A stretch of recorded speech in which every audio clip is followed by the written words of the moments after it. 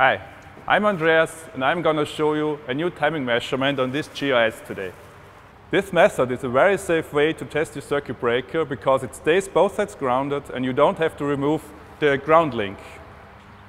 All you need for this test is a CIBANO, a laptop, a CBMC2 and a current sensor. This current sensor is actually a Rogowski coil.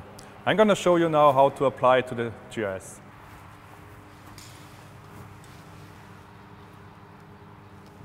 Because of its flexible design, you can use it on any kind of grounding switch. If you want to measure all three phases at the same time, you simply apply it on all three of them. Now we connect the current sensor to the CBMC2. And the current cables.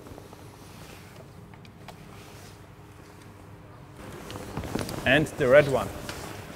We're actually using two red ones because we are injecting 200 amps. So we have the two in one cable here, which is connected on the other side of the circuit breaker on the second ground switch.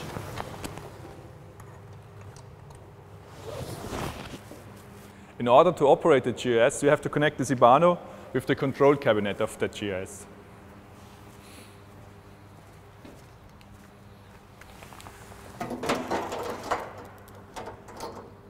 Now the setup is complete and we can run the test.